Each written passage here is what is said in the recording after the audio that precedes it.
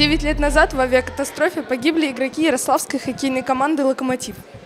И о капитане Иване Ткаченко был снят документальный фильм, и мы его посмотрим. И срочное сообщение. Чрезвычайное происшествие в Ярославле. Разбился самолет с командой, тренерами, администраторами команды «Локомотив». Документалистика – это такая вещь, э, сценария здесь не напишешь, потому что берешь интервью, и у каждого своя история. Брали самые вот интересные истории, тем более у нас нет закадрового голоса, как обычно применяют в документалистике, а просто идет рассказ от э, всех, кого знал Иван, с кем общался, от его партнеров по команде. Как вы решали, какие фрагменты войдут в фильм? Ну, вот это очень сложный вопрос вообще, потому что 92 минуты это, конечно, очень мало, но решили все-таки взять самые основные такие моменты, но в фильм не вошло, конечно, очень много. Ну, веселый, жизнерадостный человек. Все, ну, его запомнили таким.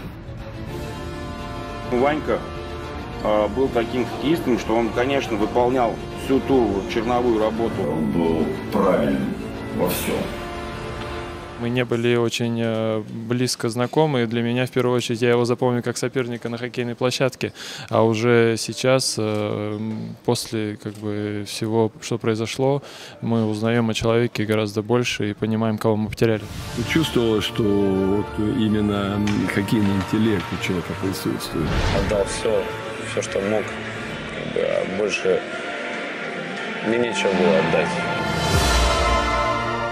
Перед роковым вылетом Иван Ткаченко успел перевести полмиллиона рублей на лечение больной девочки. И только после смерти стало известно, что половину своего дохода он тратил на благотворительность. Я очень горжусь, что это мой дядя, и я ношу его фамилию.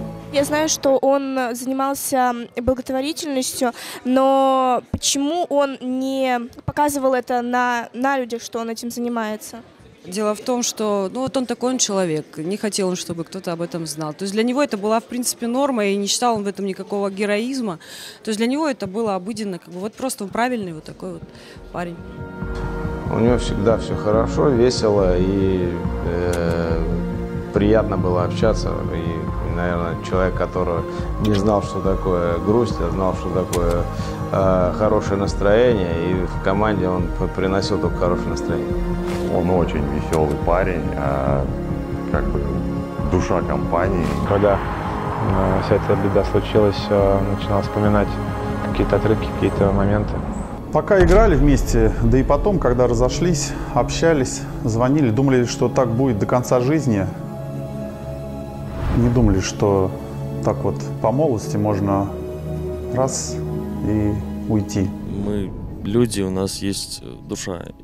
И в итоге э, самое дорогое, самое ценное это то, что связано с душой. Поэтому такие темы, как любовь, которые как сострадание, верность, ну и еще некоторые темы поднимаются в этом кино. Несмотря на то, что это, конечно, фильм документальный, оказывается, что этот фильм намного выше вот, вот таких обычных бытовых слов. Мне кажется, это очень важное кино.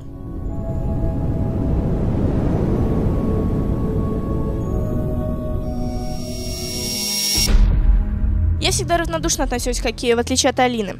И сериал «Молодежка» я никогда не смотрела, но после просмотра этой картины мне захотелось поподробнее узнать про этот вид спорта. Посмотрели фильмы о герое нашего времени Алина Ершова и Елизавета Чижова.